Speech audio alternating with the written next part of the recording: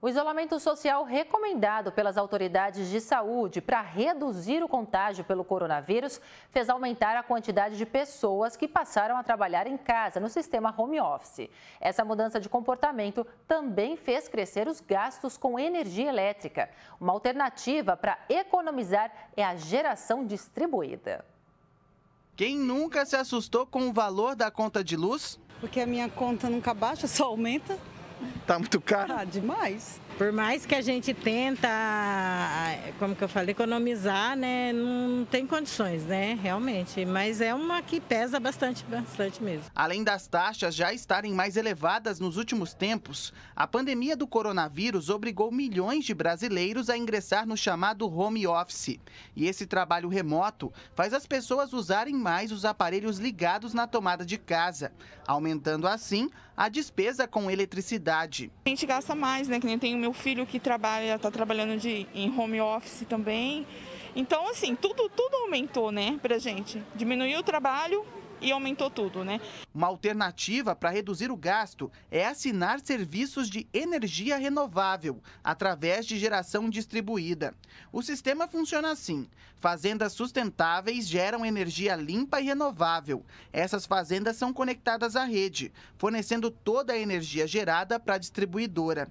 Em troca, essas usinas recebem créditos de energia, que podem ser repassados aos clientes, na forma de descontos em suas contas de luz.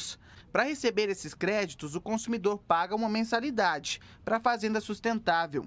Segundo dados da Associação Brasileira de Geração Distribuída, existem atualmente mais de 450 mil unidades que produzem energia renovável no país.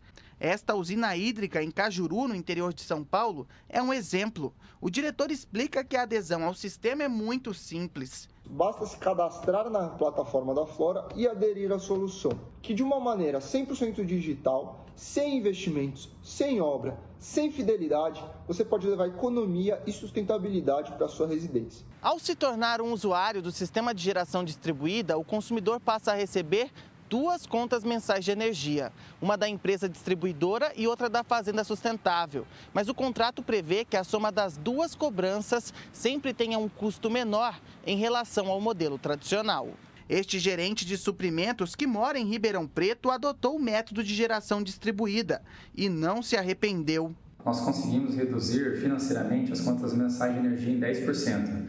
E o mais importante, com investimento zero em relação à compra das placas. Para as companhias de distribuição, o modelo também permite ganho e oferece novas oportunidades de negócio. O sistema ajuda na geração e na sustentabilidade.